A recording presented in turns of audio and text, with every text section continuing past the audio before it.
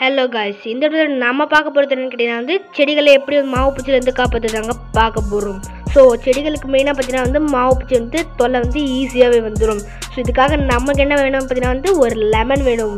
So லெமனை நீங்கள் எடுத்து ஒரு ஸ்லைஸ் போட்டுக்கோங்க. ஸ்லைஸ் போட்டதுக்கப்புறம் அந்த லெமனில் இருக்க சாறு எடுத்து உங்கள் செடியில் எங்கே மாவு பூச்சி இருக்கோ அங்கே வந்து போட்டுக்கோங்க.